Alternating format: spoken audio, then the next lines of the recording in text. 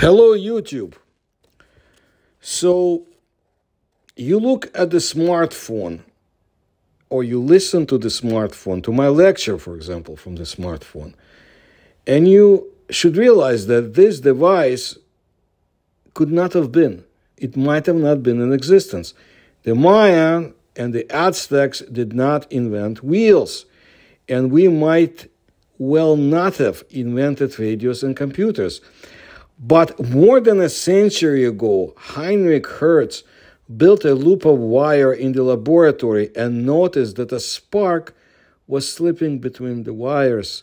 It is discoveries in the physics that change our lives, according to some people. So we let them air out their opinions. And they say that let psychics, visionaries, or politicians think otherwise. But everything that happens to us in the future depends on people like Hertz, who are observing some strange and incomprehensible phenomena in their laboratories right now. Data from the Large Hadron Collider suggests that there may be some force in the universe that no one suspects. If in 30 years a human being becomes immortal, moves anywhere in an instant, and communicates with the inhabitants of other planets with his or her thoughts, then perhaps everything starts right now. To understand what we're talking about, let's first remember what the collider does. The essence of its actions is simple.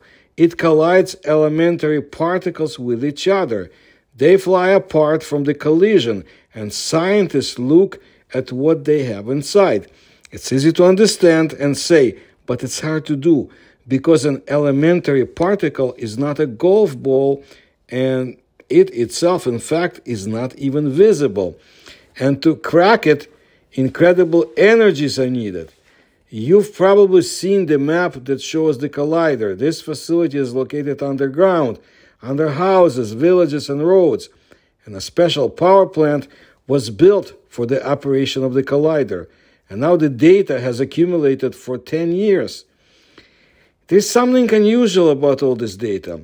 You and I you know, we know some forces gravity, the weakest and strangest force, electromagnetic interaction, there is a magnet and the refrigerator, and hairs that are attracted to your comb. The strong and weak interactions are less well known to the common people. The first holds the atomic nucleus together, the second works on the same scale but extends slightly beyond the atomic nucleus.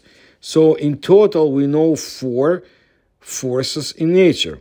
It's not possible to combine all the forces with one formula so far, mainly because of gravity, which is knocked out and most likely is not actually a force, but something else.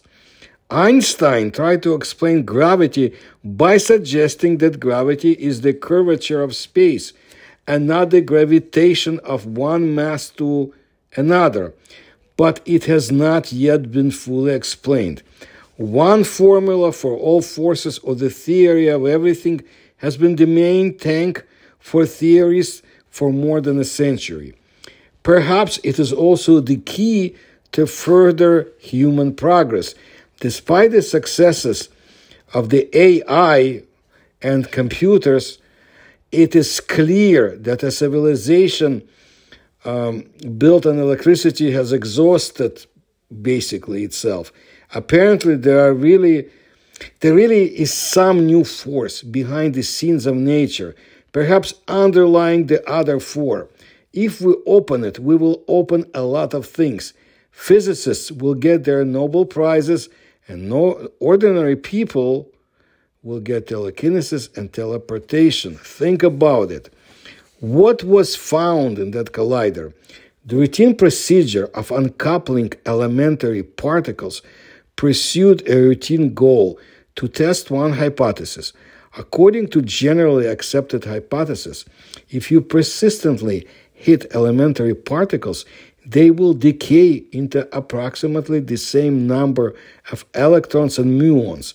A muon is an extremely unstable particle that immediately decays and generates a bunch of others.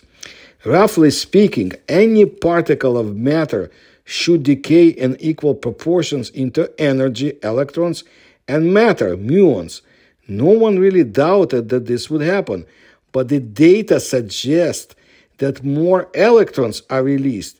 That is, there is more energy in a unit of matter, say in your nail or in a sandwich that you ate for breakfast, than there is actually matter. There is more energy in a unit of matter than there is actually matter. Okay? This means that the formulas of modern physics are not quite correct and we misunderstand the world. It's as if you ordered a kitchen for yourself. The measurers arrived, you paid, you wait for a month. Finally, the workers brought everything, and installed it, but one cabinet floats in the air by itself. And the workers are like this. This is rare, but it happens. We still don't fully understand how kitchens work. By nature, this force may be the one that made our world the way we know it. And our world is illogical. And I'm sure you pick it up from my videos. The laws of physics that we know say that we should not exist. The universe is moving along the path of simplification in a scientific way and an increase in entropy. And the further away, the simpler the universe should be we clearly see the opposite. The solar system is more complex than a random cluster of rocks, and it is young, man is generally the pinnacle of complexity, and he appears several million he appeared several million years ago. The world is becoming not simpler, but more complicated, and something has to push it in this direction. Something or someone, people dealing with religion, have no doubt that the divine will is behind everything. Now, without denying this possibility, we note that an unknown force, as if distorting the symmetry of the universe, may well be an analog of the world mind, which directs the universe. Symmetry is beautiful buildings and patterns on butterfly wings but from the point of view of evolution, it is death. The universe is alive because it is not symmetrical, and this fact seems to be a special mystery. Probably the force that distorts symmetry at the micro level is the one that made the world alive and our existence possible. Now, physicists, um, the announcement of the discovery appeared at the end of the last year. Now the physicists are checking observational facts, and theorists are trying to explain them with known reasons. This is the work of theories. Exclude what is already known and then talk about the unknown. Needless to say, if a person masters a force that has created all things not roughly, but at the level of design, he or she himself or herself will be able to create all things essentially by the power of thought. Of course, it won't happen tomorrow, but maybe it's already starting today. And this is what I wanted to let you know that the universe is much more complex than we can even try to imagine. And it has forces we cannot imagine as yet. Or maybe we can. So if you like my research and the stories I bring you, and I promise to bring more, please support me through the links you'll find in the description to this video. And I really appreciate your attention to my work. Please subscribe to my channel, please like my videos and tell others. Thank you.